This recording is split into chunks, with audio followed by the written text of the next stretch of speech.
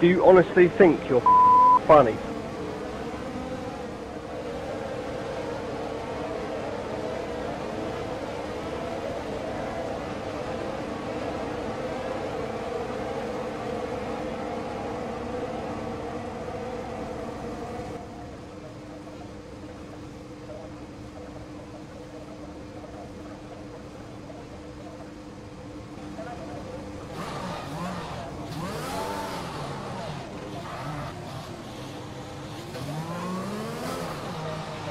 Valtteri has stopped the car. His race is over.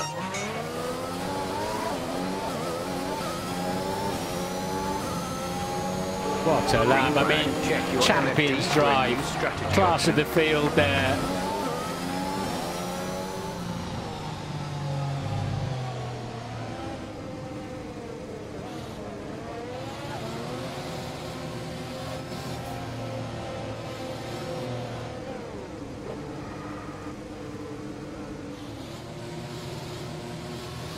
Hamilton's now going to make it three victories around the streets of Monte Carlo and extend his lead at the top of the championship.